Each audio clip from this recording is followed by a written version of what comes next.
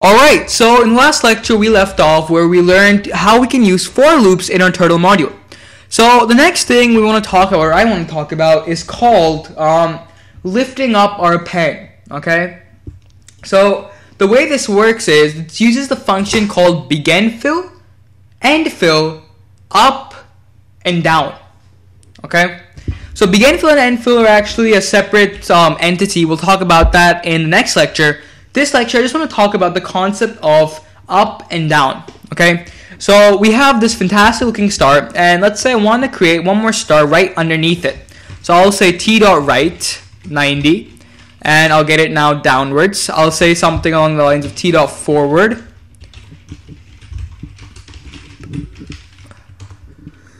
Hundred, and then I'll go ahead and create my star. So I'll copy this uh, function again it'll run, and I'll get this cool looking star.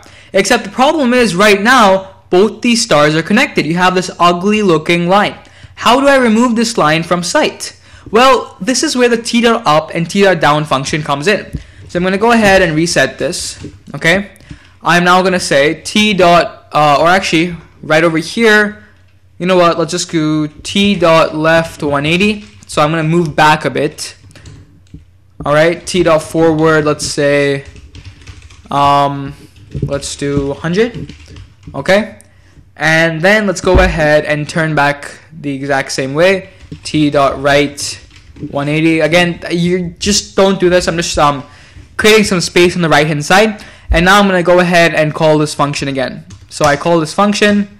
Nothing really happens, but we now get this star a little more to the left. So after this is run, we now have this awesome looking star.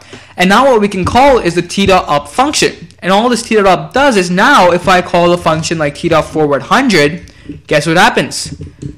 Our cursor moves or our pointer moves, however, no line is drawn. So I'm going to go ahead and move this um, 40 pixels more, I guess. So get it out in the open.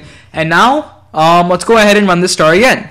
So I run this and what happens?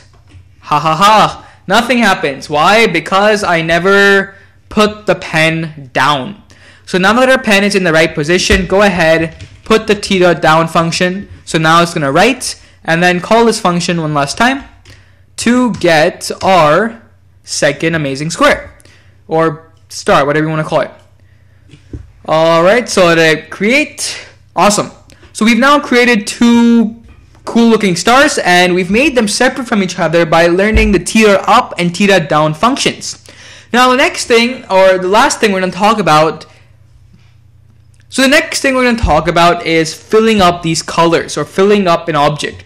For example, if I create a circle, right, and I want to give that circle some color, how does that work?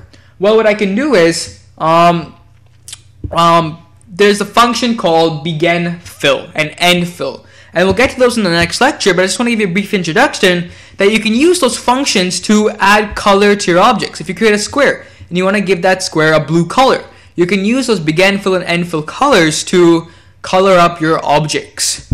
So we'll talk about those in the next lecture and I'll see you then.